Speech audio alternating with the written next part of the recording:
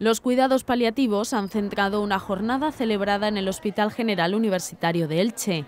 Este departamento de salud atendió a 260 pacientes paliativos nuevos el pasado año 2014. El apoyo y la atención al cuidador es primordial para poder hacer una valoración del paciente tanto en el domicilio y luego en la transición de, de este paciente a cualquier nivel asistencial.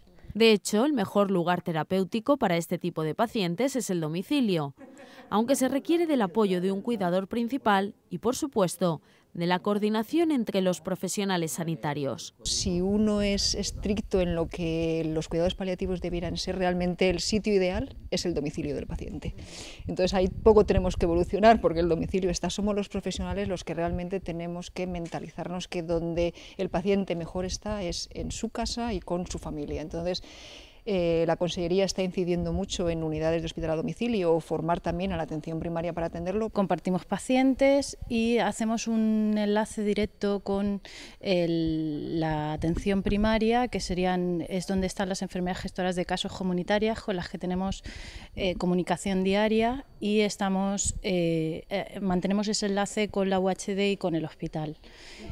vamos a las sesiones clínicas, conocemos a todos los pacientes y la relación es totalmente directa. Durante la jornada se ha abordado el Plan Integral de Cuidados Paliativos de la Comunidad Valenciana, un plan que sitúa al paciente como eje y protagonista del proceso asistencial y favorece la identificación del mayor número de pacientes susceptibles de cuidados paliativos. Tienen a su enfermera referente y a su médico de familia, pero necesitan más apoyo.